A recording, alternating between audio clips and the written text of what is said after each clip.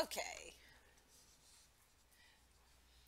Hello, everyone. I'm Bonita, and um, we are. Um, today's going to be so much fun. So I want you to know I'm going to. The camera is only filming me. Um, I'm going to record like the presentation, and I'll record the meditations. We're going to do like three different meditations today, because each time you go in, you'll be like, ah, now I know more what I'm doing but I'm not going to record our personal shared time. So um, uh, after the meditation, when everyone comes back and we do the share, that all only stays in this room with you all. And oh, that's the water.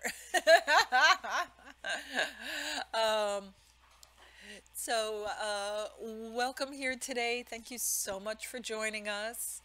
Um, soul retrieval is like one, it's one of my favorite ever ceremonies because it is like a hundred percent self-empowering. Um, last weekend I did a cord cutting ceremony, which I feel is like phase one and soul retrieval is like phase two, like the next stage up on skill development along the same path. Um, with uh, cord cutting. And um, oh. okay. No no it's a little distracting but but once it's boiling it'll make lots of people happy so that's good. Um, with cord cutting you um, connect energetically like you call someone or something or some place or some memory that you're connected to and um, you really examine the energy that exists between the two of you. You look at the direction of flow. Is it all flowing through you to the other? Are you being vampired and sucked dry or is like love energy going from you and toxic energy is coming to you? Or is it mutual love but it's under all this debris and garbage? Or like you look at the energy and uh, it can present different ways. It may actually look like lines of energy. It may look like um, poison ivy vines you know? It it may look it can it, and it can present differently each time.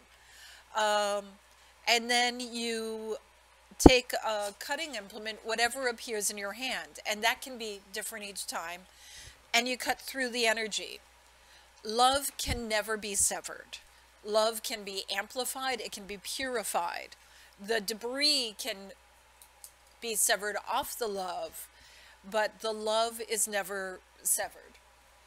And um, everything non love either is absorbed back uh, or it is sent off or it's dissipated, whatever. So if you go on my YouTube channel, and if any of you do not subscribe to my YouTube channel, please subscribe.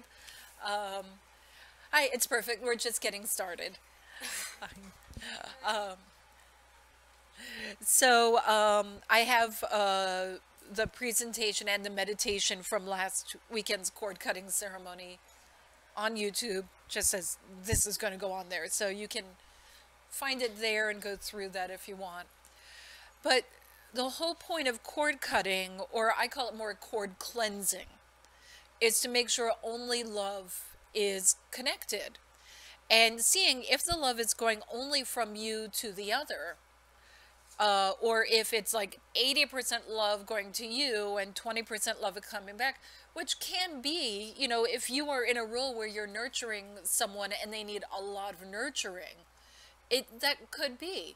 Then you want to make sure that divine love is coming into you and flowing through you so you're not exhausted by this, just as we were discussing in the caregiving situation.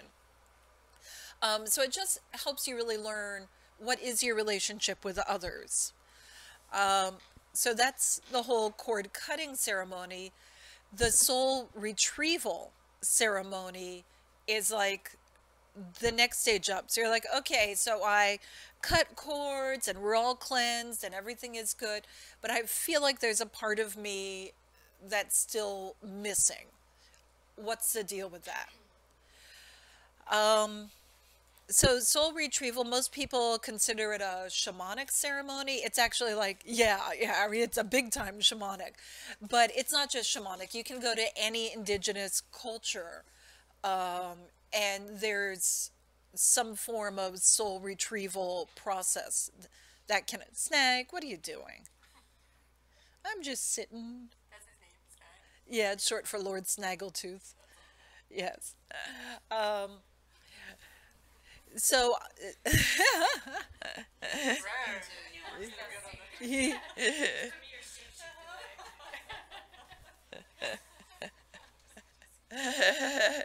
he, wants to learn. He said someone took part of my soul and won't give it back. I think it's that cat that I live with.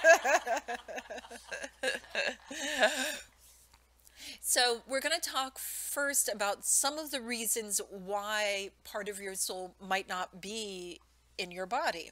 Because there are like many reasons, and they're not all bad, they're not all good. Some of them just are. So, first of all, there's um, sharing soul shards by contract. And that's, um, you know, generally done on a higher plane before you come to life. Um, say you're coming to life and you're like, Bonita, I'm going to a life that's really a difficult challenge for me, but I want to make sure I get through it. So it's something you're good at. Will you give me a portion of your soul to help me with this? So then you might go to me, you might go to her, might go to her. We may get, you know, like anyone who's good at, you're like, give me splinters, give me splinters. I need a diverse platform of skill and ability because I want this to be a one and done karmic lesson. I don't want to have to repeat it because I got something more interesting waiting for me to do, and I got to do this before I can do that. Um, or I might say, um, and then when you're done with life, all of the shards automatically return to us because this was a, a soul contract. It was by mutual agreement. Um, or I might say, oh, you're going to be doing something that I'm going to do in my next life. So let me send a fragment of my soul with you so that then when I'm doing it, you know, in a hundred years, I already got a little bit of comfort with it. So, you know, the, this is, yes. So if you made a, a contract agreement before you came here, um, would part of your soul be returned to you while you're still in this lifetime? Depending on the contract. Okay. So it could be, I might say, well, that looks like a really cool life you're on, so I'm going to do a ride along all throughout. Or, okay, uh, so you need to get through like by age eight, I'm done with my part. When that's done, this will return to me. So it, it can be either way.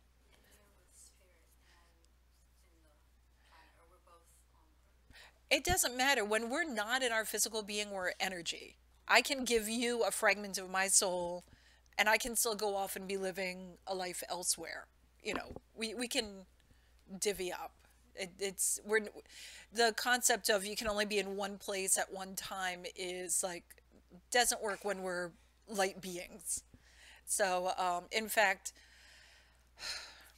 if you have been around for a couple of thousand years worth of lives, odds are you are definitely in more than one body at this moment because you have more skill, you have more ability to multitask and to manage. It would be kind of boring to be like, I'm born, I lived, I died. Let's do it again. Uh, it is more likely that if you are the age of 70 in a life, you are also like at least a young child because like the young child and the old soul, they're easier to manage simultaneously. And uh, if you're an older soul, odds are you're also like in this life right now. So you're in this life and you're also someone very old and you're somebody that are like, you know what? Every 30 years I throw one down there. Yeah, that these are these are more the more experience you get, the more because we want to challenge ourselves. And there's no challenge if you're like, oh, let's wait till we get done with this life. Uh, on to the next. Um, I have a very dear friend who he and I are of the same soul. And the first moment we met, we felt like like brother and sister. We felt like one. He's like 20 some years younger than me.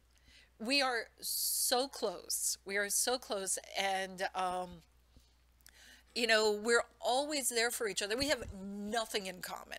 Completely different lives. I have no idea why he's living the life he's living. And it's actually by happenstance that we ever ran into each other. But once we did and we connected, he doesn't believe in any of this stuff. It is really funny, but whenever I hang out with my divine friends, and he'll come along because I ask him, like, hey, you know, in Prana Shakti, we're working on uh, healing joints. I, you know, come on along. And and he'll be like, yeah, sure, that sounds weird. Let's do it. You know, or hey, I need someone to practice like energy healing on for a technique. Come on. And he's like, yeah, sure, whatever, you know. Um, so he'll come along and then divine people go, you're one. I'm like, yeah, I know. so it's, you know, I get the affirmation that I'm not just a cuckoo nut job. Well,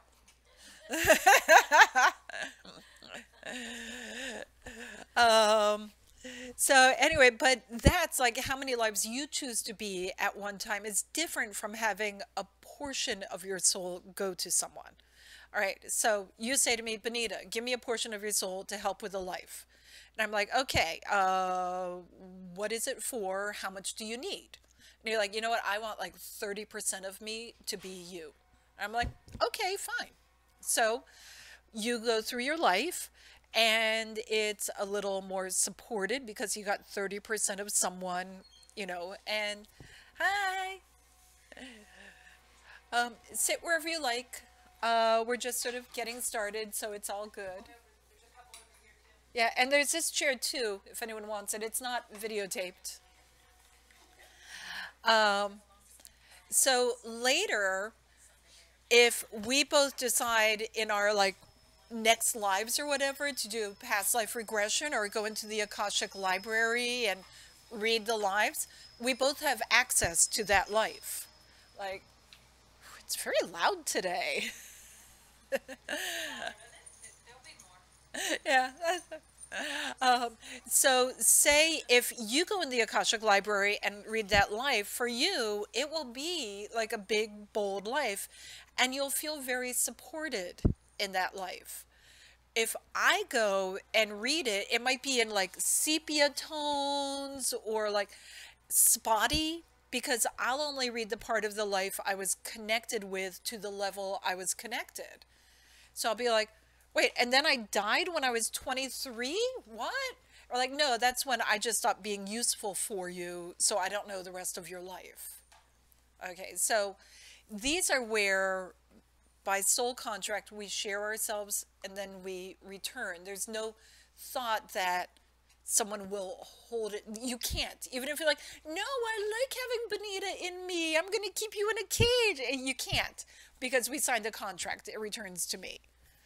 Uh, now there's another way, and this is like, who here knows like uh, Honeybee and Michael Abrams and the beautiful Galactic Gateway opening work?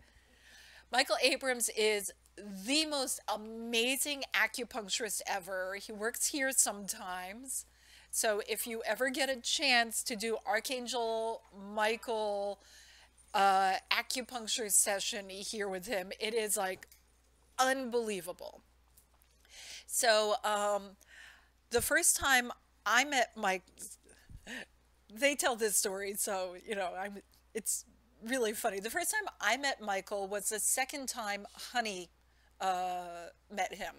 So she and I were at her house. She goes around the world opening galactic gateways so that for the healing of the planet. And, um, you know, there are many times where I'll be like, hey, honey, let's plan this, let's plan that, blah, blah, blah. And then suddenly I'll get a call. Oh, Divine Sister, I'm so sorry. I have to cancel on our plans. I am being sent to Siberia to open a gateway, you know, and uh, tomorrow I have to go. And I'm like, well, how are you? She said, everything came together. I got the ticket. It all happened. And, you know, everything fell in place. I'm being sent. I'm like, who sent you? And she's like, our divine. You know, it's like, well, who's going with you? No one. So how do you know where to go? I'm being, you know, like everything falls into place and there she she is. Um, I make it sound like it's easier on her than it is. Her her path is like, thank God she's such a tenacious, divine, pure person. Um, if you can ever make it to any of Honey's ceremonies, wow, they are amazing and super intense and like mind blowing um, and energy blowing. So anyway, um, Honey and I were at her house. Uh, we were like doing a little energy work exchange. And um, so because of that, I was like wide open. And she said, um, afterwards, this fellow that I met, I think it was like two nights before, the night before, Michael is showing up to join us for lunch. And I want you to just like tell me what you think of him because uh, she ran into him at some yoga meditation event, whatever. Um, and afterwards, when she was chatting with a person who said, Honey, where are you going? She said, Oh, I have to leave soon to go to Acapulco to open a gateway. There's going to be a galactic gateway opening there. Um, and this is all like people who do astrology and cosmology, you know, and all, it's like when things suddenly come into alignment and it hits Earth galactic gateway openers all find themselves there and they're like oh hey nice to see you again haven't seen you like and they all like it's the most extraordinary thing. Well as she was saying this to a friend she heard someone speaking behind her saying i have to go to acapulco to open a gateway there and so she and michael turned around they're like you? Me? Me? You? You know so she's like i want to get your take on this guy. Um, and uh, so then the doorbell rang and we greeted him. And as soon as he walked through the door, it's like I got locked into a light beam and all this information started coming out. And I was like, oh, the two of you are soulmates. And um, you planned your lives in advance with accordance that you would find your way. To, each of you gave each other a soul shard that you placed in your hearts so that you would find your way to each other when the time is right. And that time is now. And now together you're going to be opening galactic gateways. And you're like, I forget what all this information was pouring out about the divine work they were going to be doing. And I said, Of course, you have been together for eternity. You will be together for eternity. Your love is. Uh, pure, you are one, blah, blah, blah, blah, blah, blah, blah. And then, like, I was like, out of the trance, and I looked at them, these two people who had only met briefly, the one or two nights before, and they were like, oh. yeah, all right, that's kind of an intense thing. and I was like, uh, and once you're done with this sacred work, if you want, you can separate and go on with your lives as you wish them. you know? No, there was like no pulling that foot out of my mouth. like, um, but it's true. It's true. They travel all over the world, opening galactic gateways, and it is like the work they do is amazing. Um, they they wrote a book. I'm not sure if it's published yet or not about the divine channelings. And like the work they do is among the most profound on the planet. And it was when the two of them came together that this really started happening. And they have not yet reached their fruition. So it's just going to get more and more intense. But they had to give each other a splinter of their souls to put in their hearts to make sure they would find each other. And to make sure that uh, even as they were with other people in their lives, they were there for each other when the time was right. So these are times where soul shards are used for good purpose. Okay. If you do a soul shard retrieval ceremony, um, and you're like, oh, I'm missing a soul shard. I feel a crack right here. And you follow it. You're like, where are you? Where are you? You might find that the soul shard will say to you, no, I'm supposed to be here now. You know, come back and get me later, or I'll come back to you when I'm ready. That's good. That's fine you know, you can check with, are you doing okay? Yeah. Are you being abused? No, no, no. It's all good. I'm happy. All right. Stay there. Make sure you're home for dinner, you know. Um, so I just mentioned that because um, you may feel an emptiness where that shard is supposed to be, but you don't feel a, um, a less than self feeling. It's not agonizing. Okay. So those we just let them be. You can check in with them once in a while. Hey, Shard, how you doing? I'm okay. All right. Stay there for now. Um, and by contract, it will return to you. Now, if when we do this ceremony, you look into yourself and you're like, oh my God, I got all these little creaks and cracks and cr like, where am I? Most of me is like out there somewhere. Um, when you check, there's always a line of connection between you and your soul shard. It's not severed from you. You may find it's being held hostage somewhere, or you may find it's like lazy and on vacation, or it may be stuck in a good memory, or um, uh, sometimes like uh, I'll work with someone who is in a good loving relationship but maybe a previous boyfriend or girlfriend has a, like maybe they did not claim all of their souls from each other. So while they're in the current relationship, part of their heart is still like yearning for the old one. And in some ways, like maybe making the old one seem like so much more wonderful than it was. If it was really all that wonderful, you would not have left it. So then you have to like talk to your soul and like, well, if that soul shard is back there, are you able to give all of yourself to the current relationship? Or are you in the current relationship? Eh, 98%. But 2%'s got a foot out the door because of this. So then you might want to claim your soul back to yourself, which, with the cord cutting ceremony we were talking about earlier, which you were there last week, that was awesome with the cord cutting, you can see what current day lines of love exist between you and the prior relationship so that you can have a healthy current day loving connection to them, but your soul is in your body and your current day, you know, paramour is getting what they need and for you to feel at peace with your rapport all around. So this is where like a soul retrieval is actually really important. Um, another reason is um, someone may be holding part of your soul hostage. Someone who doesn't want to let you go. And you're like, it's my soul. They can't hold my soul hostage. That is correct. But whoever is a more powerful person within their own skin the person who's more like their own person in their own right has the more power on holding on to the small shard. Uh, it's sort of like if you have a neighborhood bully and they're big and strong and you know they like take your lunch every day so long as you're a tiny little weakling they can take your lunch every day and if you fight them they're going to beat you up. But if you work it then you realize you get bigger and stronger and bigger and stronger and of course, if you're becoming bigger and stronger by your core of power and your connection with divine love, that bully will become smaller and smaller because, you know, bullying energy is never as powerful as divine energy. And then not only can you just take your soul shard back, but you can give love just for the sake of love in return.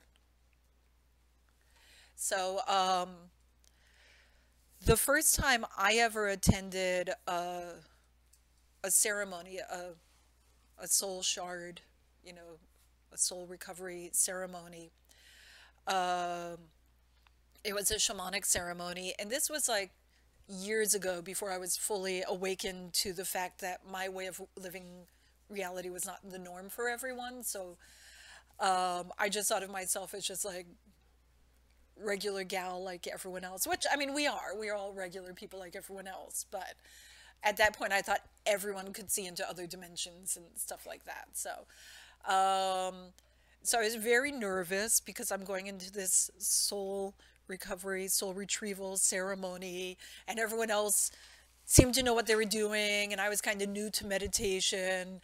And so we sat down and we went into, we were brought into the meditative state and um, the shamaness who's like beating the drum and you know we've all been saged and everything we're all like super heady says, you know, look at yourself as a soul, look at your being of light within yourself and see where you have cracks and crevices where you're missing.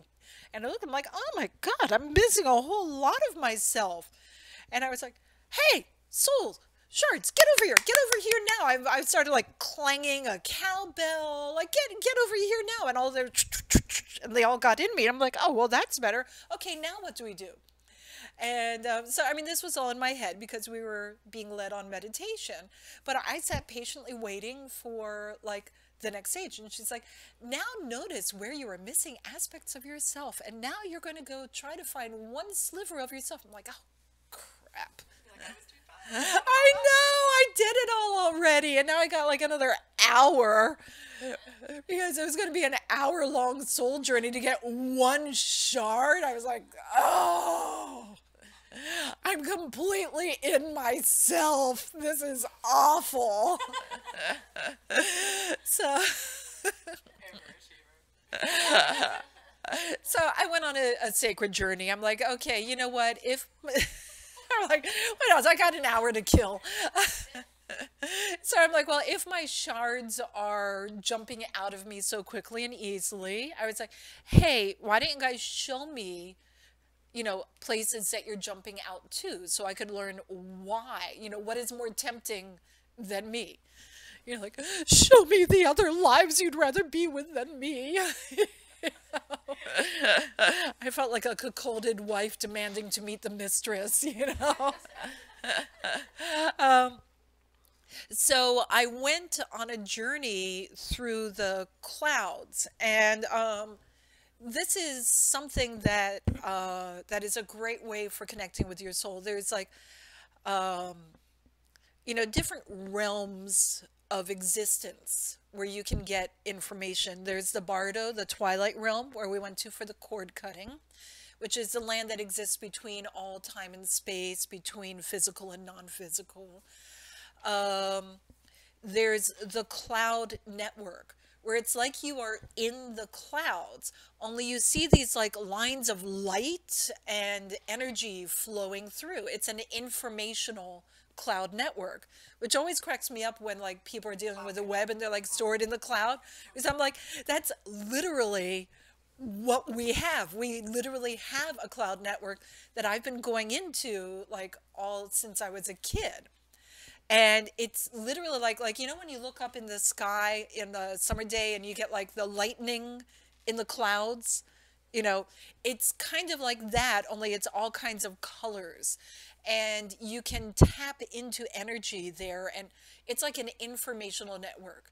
It's like going into the akashic library only it's a lot quicker and you can absorb a ton of information it can also take you places. So I went into, I, one of my guides took me up to the cloud network and I was like, show me where my soul shards would rather be than in my body. And they took me, it was like a, like uh, we were flying in the clouds above the, you know, like looking down on the ground, but on the ground was like the patchwork of the landscape of all my lives and it was almost like every life was right next door to each other. But if you zoomed in, it would spread out and you could see like more land. And then when you pulled your perception back, they would all get closer together. And it wasn't the lives that were chronologically or geographically near each other, it was more like energetically, karmically, which ones were on the same sort of lessons. And we stopped and we like visited with multiple lives and they showed us like what their work was that was so important. I'm like, well, I could see why my soul would rather be there than here. So that's really cool. Um, and so I got those lives to start working with me as active guides in this life. I'm like, you know, if my soul's going to keep running away to them, I may as well have them with me to help me. So in this case, the soul retrieval really benefited me a great deal by pulling a lot of aid and help. Um, in the traditional soul retrieval, um,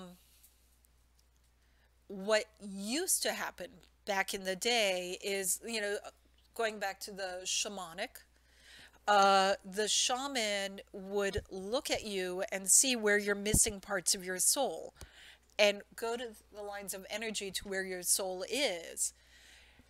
It might be in the lower realm, it might be animal spirit guides or earth spirits or elementals who are holding your soul captive.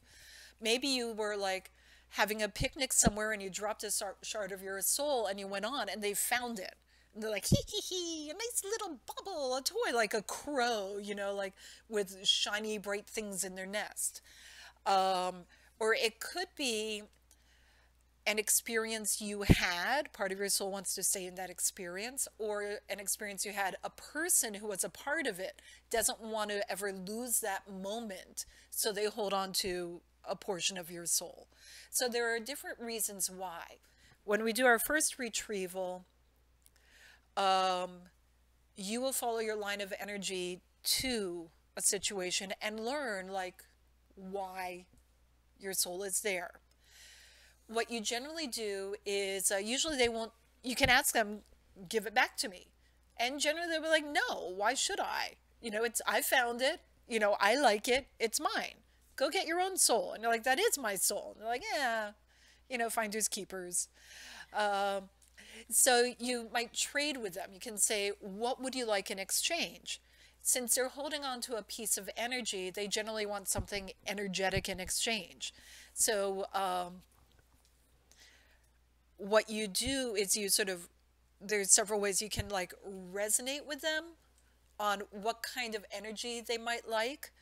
Or just like when you do cord cutting, you just look in your hand and find something there. It might be a feather, it might be a crystal, it might be a breath of love. You know, uh, there's so many different things. And you're like, would you like this in exchange?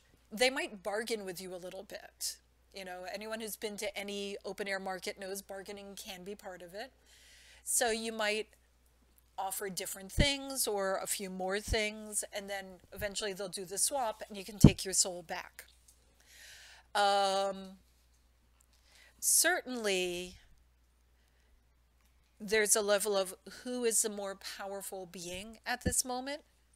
If you are feeling victimized or intimidated by this whoever who's holding on to your soul, understand that this is an area that you have the opportunity to go in and look at yourself.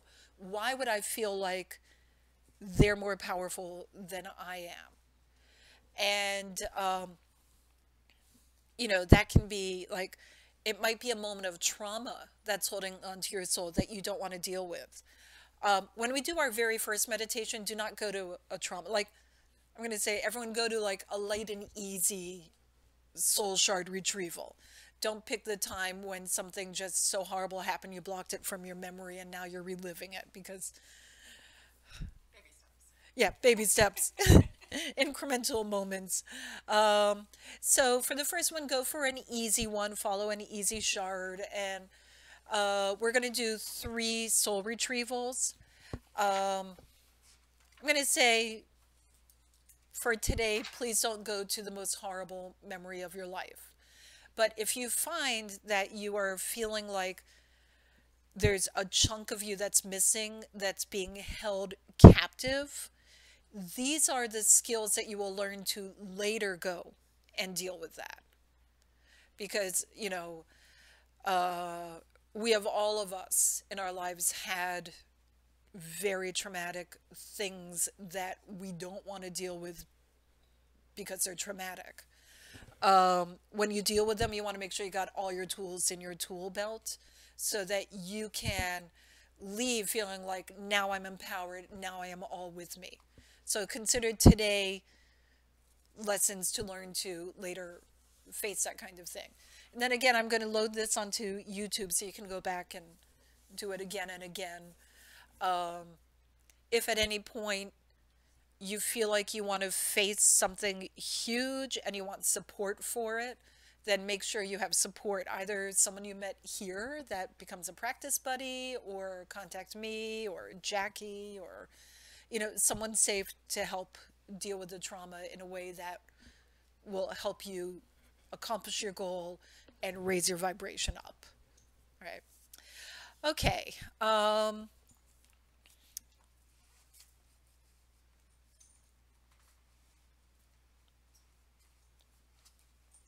So I want to speak briefly about. Um,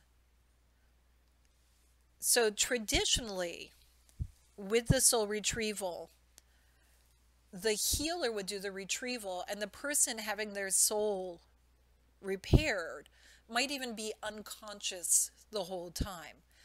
But uh, you know, the dynamics of the our planet are changing, and now we are teaching people to retrieve their own souls. This is a new thing. This is like even 10 years ago, you wouldn't you would have to go through massive amounts of training to reach the lesson where you could do this. So it just shows that, you know, when we wonder, like, is our planet evolving? Are things really happening? This is kind of proof that, yes, it is. Yes. Um, but understand that this is a serious ceremony. Like, if you were studying shamanic studies, this would not be something you would do in your first year. You know, you would build to this level of skill. Um, for people who do angelic work, um, there's an angelic side of the soul retrieval ceremony, which uh, some, I feel like some of you might be comfortable trying this technique as we're doing the ceremony, which is, um, you know, you ground yourself and you open yourself up for divine love and you connect with your guardian angel and then you invite your guardian angel to connect you to the angelic realm whichever group of angels within the angelic realm, you know, are most resonate with you. And you invite them to fill you with their divine love. And then you like as you're filled with divine angelic love and you let yourself glow from it, you look at where lines of light are shining out where you're missing parts of your soul and you follow those lines of angelic love. And when you get to where the angelic love ends, where your soul shard is, you just, whoever's holding it, you fill them with angelic love. They will always prefer that to holding on to a human soul. I promise. Always. It makes it super easy. So, like I said, there were many different ways of, of soul retrieval when we are in meditation and my words are taking you through the ceremony, if your guides come along and say, We want to show you a different way, go with your guides. Okay, because we're going to get our frequency really high, especially by the third ceremony. So you may find, well, Bonita, while you all went there, my guides took me there. I'm like, awesome. You know, if we're on the ceremony and you're thinking about your shopping list, bring it back to the ceremony. But if you're on the ceremony and you're thinking about self doubt, bring it back to the ceremony. But if your guides are like, oh, we've been waiting for you to get to this frequency so that we can share something with you, you might find that they even take you to a place that's not a soul retrieval ceremony, but it's a lesson that's really important to you. Go with it. Always go with your guides. Okay? Um, right. Any questions? Yes. I was just wondering when uh, you're probably familiar familiar with the dismembering. The dismember. Shamanic work when you just uh, broken a bunch of pieces and uh, the spirit helps you to bring it back. back Oh, yeah. together. So I was just wondering if that type of work also involved uh, bringing the soul pieces back together. Um, I have never combined soul retrieval with the dismembering because they're for a different process. One is to really get to know yourself better, and the other one is to find lost bits. Um, but certainly, if you were to do a full cord cutting and then heal, and then do a soul retrieval and then heal and then do the dismembering, that would be really powerful. I wouldn't do them all at once. Yeah. Um, but that that would be really very intense. Yeah, I was just wondering if intensity of that kind of similar to intensity of a. They're they're all intense. I mean, they can be. They don't have to be. They can be kind of fun and jovial. Absolutely. Yes. Uh, it can be like as much as like chasing bunny rabbits trying to get them to return into you know it, it can be whatever you want um, but um, the the dismembering thing is about really like looking at yourself with your individual components taking yourself apart and rebuilding yourself in your most powerful blessed aligned state of being um, and seeing how much there is of value within yourself, healing everything that needs to be healed. It's um, we'll do that next weekend, okay? um, okay, so let's take a short break, um, and then we will do three ceremonies.